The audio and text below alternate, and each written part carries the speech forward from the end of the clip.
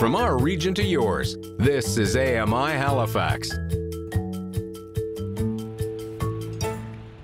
I'm Jennie Bovard for Accessible Media.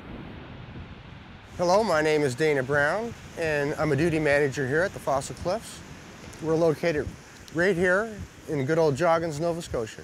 The fossil cliffs at Joggins, with their distinct tilted layers, are constantly being shaped by the immense power of the ocean.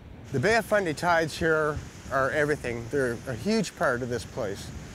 10,000 years ago, if we were here, this would be solid sediment right over to New Brunswick. We'd never even know that the fossil cliffs were here.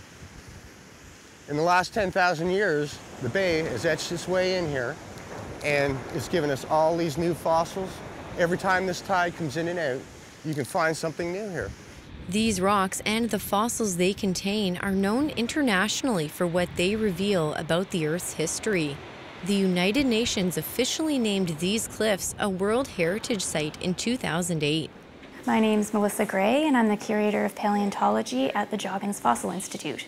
Joggins is a scientifically important site. It's the best place in the world to view the Carboniferous over 300 million years ago. And uh, in particular, we've got the oldest known fossil reptile right here at Joggins. It was found back in the 1800s. We're still on the lookout for more, um, but that is a particularly important specimen because it represents the branch of the evolutionary tree that humans are part of, wherein we can escape the water and we don't need to go back to it for um, reproduction. Our guide Dana took us along the cliffs to show us the plants and animals of the Coal Age emerging from the rock.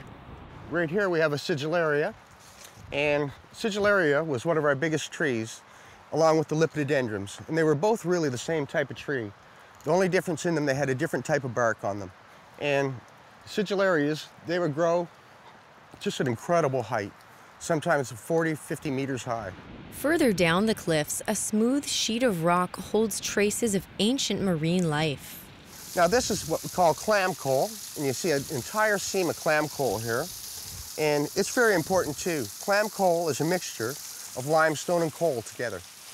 And it's also filled with marine organisms. You'll find fish teeth, fish scales, brachiopods, coprolite, which is fish poop, all through these, all through this, this clam coal that you see here. Well-known scientists have visited Joggins uncovering the building blocks of the theory of evolution. The father of geology was here twice, Sir Charles Lyell. His, he came here in 1842 and in 1852. But when he was walking along and found one of these sigillaria on the beach and it had bones in it, he sat there for three days around it, trying to figure out the circumstances of how that tree could be there and made of stone at the same time. Even today, scientists continue to work at Joggins studying the unique fossil record here. They operate out of the Joggins Fossil Center, where visitors also start their journey. This building is home to newly discovered fossils, many of which can be picked up and felt. From here, visitors depart for guided tours of the cliffs. It's a green building, it's a LEED uh, gold building, which means that it's an environmentally friendly space. And it looks like from the outside as if you're almost looking at the cliffs. It's tilted like the cliffs are tilted. The center is perched right atop the cliffs. You're, when you're in the center, you're not actually at the World Heritage Site, but it is the gateway. So you're just steps away from the beach, which is the World Heritage Site.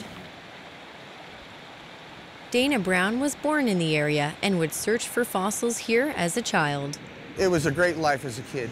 It was like a treasure hunt every day. You go out and uh, every time that tide come in and out, we could find something new or something would come in, a message in a bottle, you name it. And uh, it was a great place to grow up, that's for sure. He's dedicated to protecting the cliffs for future visitors. This holds our history and time. There's 300 million years of history here. It's all to take in, and it's still coming out. It's only begun. This goes back for about 20, 20 kilometers. So there's going to be more and more discoveries all the time.